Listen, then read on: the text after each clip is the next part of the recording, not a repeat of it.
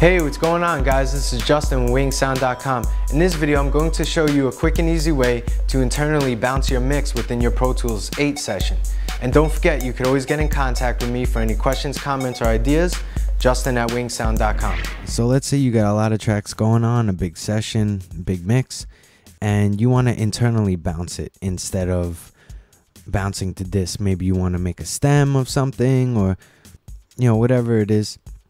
This would be to internally bounce these tracks. So what you want to do is create a new aux track and a new audio track. Shift Command N for new tracks.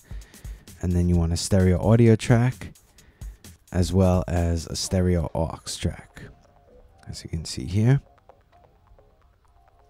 So hit create. So for the audio, I'm just going to name it bounced audio. And then for the aux, I'm going to use bounced aux. Okay, so what you want to do is with that aux, with that aux track, you want to choose the input of that aux track to a bus that you're not using. So in this case, I'm going to choose bus 1, 2. And what you want to do is on the tracks that you want to bounce, click on one, highlight one, then hold down shift and then click the last to highlight them all. And you want to change the outputs of all these tracks to that corresponding bus, bus of that aux that you've created. So to do to the selected, it's shift option. Click on your outputs, choose that corresponding bus, bus 1, 2. And as you can see, it changed the output for, for just the selected ones to bus 1, 2. Okay, so now they're all going through that aux. Then what you want to do is, you know, do your little processing, your compression or whatever it is. So I'll just do this. So I put a iZotope compressor on it. And then what you want to do is on that audio track, you want to choose another bus for the input that you're not using. So the input would be bus 3, 4. And then on that aux, you want to change the output of that aux to that corresponding bus that you just made the input of your audio track. So 3 and 4.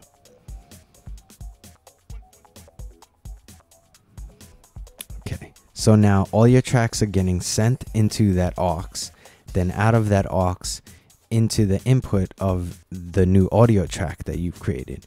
And then what you're going to do is arm that audio track for recording. As you can see there, hit record and then start recording.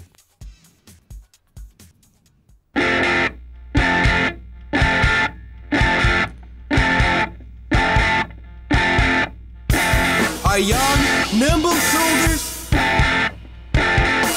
Okay, I'm not going to play the whole thing, but you get the idea. You know, and then see the reason why I'm doing it through an aux is because if you don't and you just put it through that new audio track you've created, so let me just do that. So the input would be bus 1 2.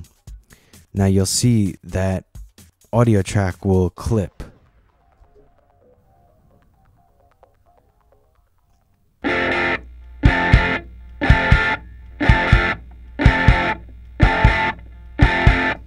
See, it's clipping. And then even if I put the compressor on it, the limiter, so I'll do that again. And you'll see it still clips.